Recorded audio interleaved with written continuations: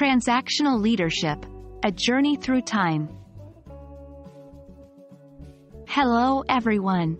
Today, we're diving deep into the fascinating world of leadership styles.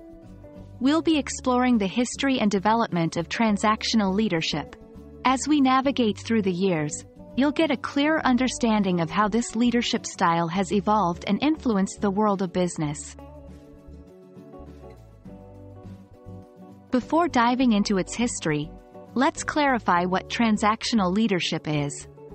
This leadership style is rooted in the idea of an exchange between leaders and followers.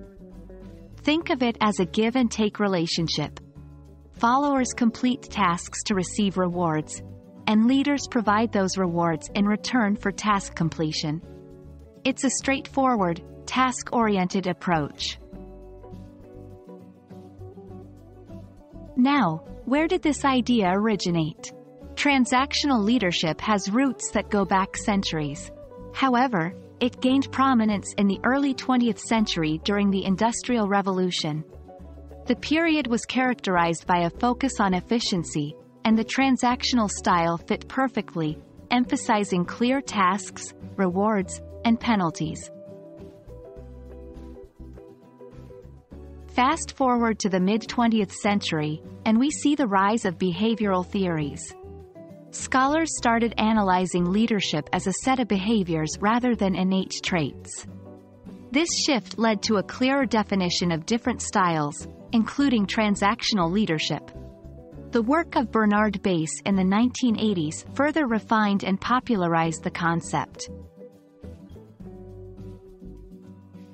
In today's rapidly changing business environment, is there a place for transactional leadership? Absolutely.